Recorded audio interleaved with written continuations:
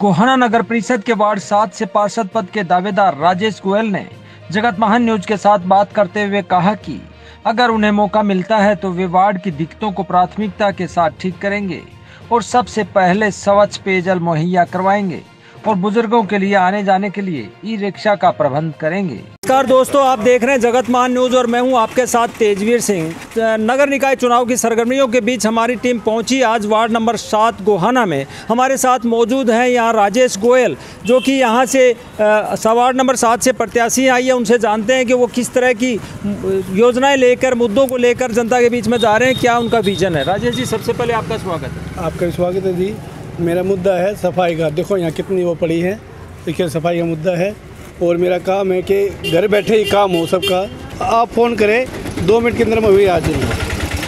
जी आप कह रहे हैं कि सफ़ाई का मुद्दा है लेकिन हमें जो सर्वे के दौरान पता चला है यहाँ पे गंदा पानी जो सप्लाई में आता है उस तरह की जो पुरानी पाइपें लगी हुई हैं क्या उनको हटाने का आपके समस्या का ज्ञान नहीं है यहाँ पे? नहीं समस्या का ज्ञान नहीं है। मेरे को जब मैं आऊँगा तो पहले वही काम पहले पानी से बच दूँगा अगर हम यहाँ पे बात करें महिला सुरक्षा की अगर हम बात करें यहाँ युवाओं की अगर हम बात करें यहाँ बुज़ुर्गों की तो आप उन लोगों के लिए क्या क्योंकि हर तबके की ज़रूरत है हर तबके के लिए क्या करना चाहेंगे? अगर महिला सुरक्षा की बात करें तो आजकल कहीं भी महिलाएँ सुरक्षित महसूस करती हैं क्या करेंगे उनके लिए? सी कैमरे रखेंगे सीसीटीवी कैमरे लगाकर सुरक्षित बनाएँगे। अगर बुज़ुर्गों की बात करें तो बुज़ुर्गों के लिए आज के दिन कहीं बैठने का स्थान नहीं होता है।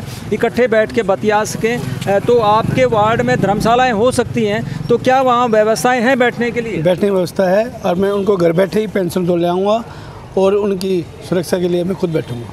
बुज़ुर्गों के लिए आप व्यवस्था करेंगे बैठने की व्यवस्था करेंगे लेकिन आजकल क्या है कि बुज़ुर्ग कई बार सिविल हॉस्पिटल नहीं जा सकते अस्पताल नहीं जा सकते तो क्या उनके स्वास्थ्य चेकअप का कोई इंतज़ाम आप लोगों के द्वारा अपने वार्ड में किया जाएगा? ई रिक्शा का मैं पूरा प्रबंध करूँगा ई रिक्शा का प्रबंध करेंगे। हाँ अगर युवाओं की बात करें हम सभी तबकों की बात करेंगे हम युवाओं की अगर बात करें तो युवा आजकल बेरोजगार होने के कारण नशे की तरफ़ क्या करना चाहेंगे युवाओं के लिए युवा के लिए मैं सबकी व्यवस्था रखूँगा और उनका काम का ध्यान रखूँगा। आपके वार्ड में एक तबका ऐसा भी रहता है जो कि गरीब लोग रहते हैं उस एरिया में सत्तर अस्सी वोट हैं। अभी किसी को समर्थन किया है उन्होंने एक वहाँ से खड़ा था एक नेता लेकिन उसने समर्थन किया तो उस एरिया के लिए बारे उसके बारे में भी कुछ सोचते हैं आप? मैं वहाँ जाऊँगा जब भी देखूँगा जी मैं सबका साथ चलूँगा सबका साथ रहेगा। अभी तक के वार्ड में कितना दौरा आप कर चुके हैं? कितनी बार लोगों के डोर टू डोर आप कर चुके हैं? मैं एक बार तो सारा बार हो चुका है और दोबारा मैं राउंड पे जी, आप क्या अपील करना चाहेंगे अपने वार्ड की जनता को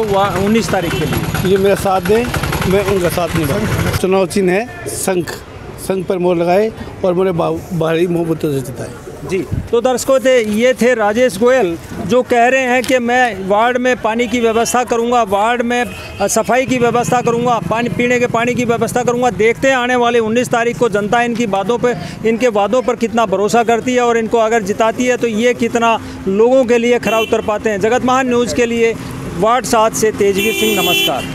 नारा है सात वार्ड को सबसे अच्छा बनाना है। हमारा एक ही नारा है।